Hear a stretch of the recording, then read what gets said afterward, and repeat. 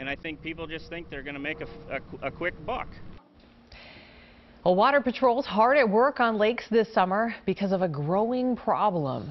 The Hennepin County Sheriff Sheriff's Office Water Patrol reporting a surge in illegal boat rentals. Yeah, they say people are listing their boats without first having them inspected and registered. Fox 9's Babs Santos joins us live from the lake with more. Babs? Well, Amy and Courtney, before taking anyone out on the water here at Lake Minnetonka, boat charters first have to have their boats inspected just to make sure that the carbon monoxide detectors are working and they have the right life jackets and more. But this summer, law enforcement says some aren't doing it.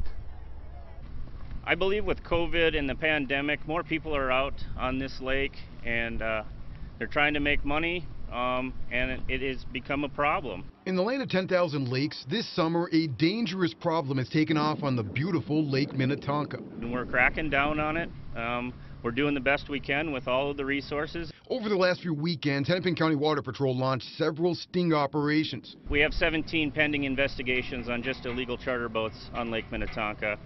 And uh, we have a couple more that are in the process. Law enforcement reports an increase in people renting out large boats without first having them inspected and registered.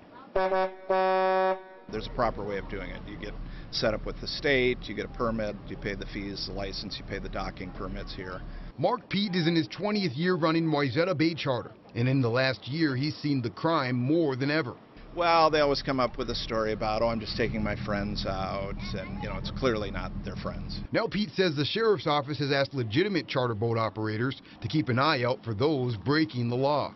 A lot of the information that we're receiving is people from the docks that are videotaping it. They're taking pictures from their cell phones and sending it to us saying, I believe that this is uh, an illegal charter operating out of this dock. Recent charging documents show the illegal boats are often manned by people without a boating license and sometimes without proper flotation devices on board. You will have to go to court, and uh, all the charges are misdemeanors, which, uh, you know, we've seen fines up to $3,000. We're trying to err on the side of caution before there's a, a fatality out here.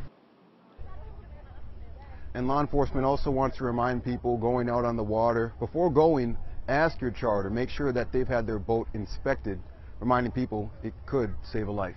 Live in Excelsior, Bab Santos, Fox 9. All right, Babs.